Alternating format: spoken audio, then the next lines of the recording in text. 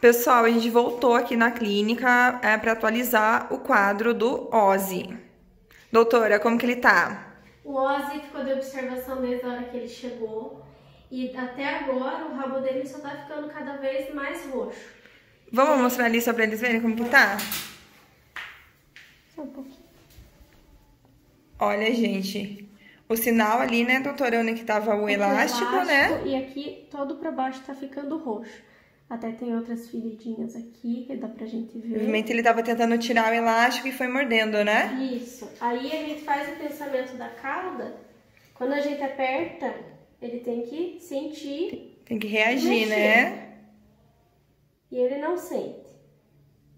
Aonde tem circulação ali, se apertar, Aqui. sente, né, doutora? Aqui ele sente. Olha, era pra tá todo o rabinho assim, ele sentir, né? Então, isso é um bom sinal de que ele a amputação do rabo, porque já não tem mais circulação.